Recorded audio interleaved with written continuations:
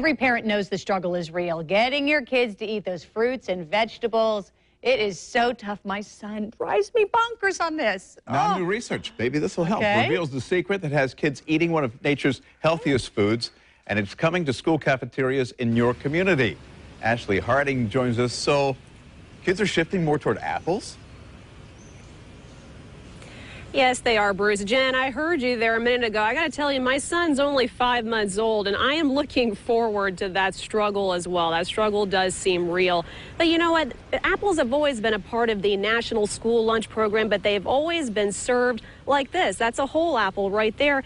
But you know what? People started noticing that these were getting dumped in the trash. Kids were not eating them, so they decided to try something different. This is a group of researchers at Cornell University. They did a study where they were serving apples like this, sliced apples. They noticed a really big difference. And you know what? Kids were taking part in. They were catching on. They were eating the apples. Again, this is the only difference, sliced apples versus whole apples. Now, this is a tactic that's already being used by the world's biggest fast food franchise. You know, I'm talking about McDonald's there, but take a look at these numbers. A pilot study at eight schools found that fruit consumption jumped by more than, get this, 60% when apples were served sliced. This is part of an even bigger trend nationwide. The U.S. Department of Agriculture finds that Americans ate just over 500 million fresh sliced apples in 2014. That's more than three times as many as they did 10 years before. So I got to tell you, I was wondering what's that all about? What's the why here? And it turns out it really has more to do with convenience. Sometimes it's easier for little kids to eat sliced apples because sometimes kids have braces or they're still losing baby teeth but some more numbers right here, some more information.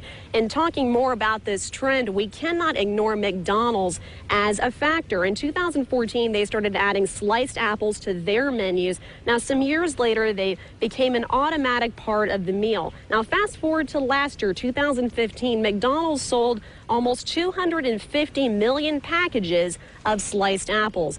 But you know what? With any pro, there is always a con. So some scientists are worried that with packaged sliced apples, there would be more plastic thrown away, and that could be harmful to the environment. But again, no matter how you feel about this issue, whether we're talking about whole apples, sliced apples, packaged apples, it's still a very good thing that we're seeing in schools and anything to help make that struggle a little bit easier. I know that I'm definitely going to try this when my son Cal is a little bit older, but for now he's just a baby. But something to think about for parents. Reporting live this morning, Ashley Harding, Channel 4, the local station. Now, it's a piece of cake to get him to eat that uh, Beech-Nut applesauce.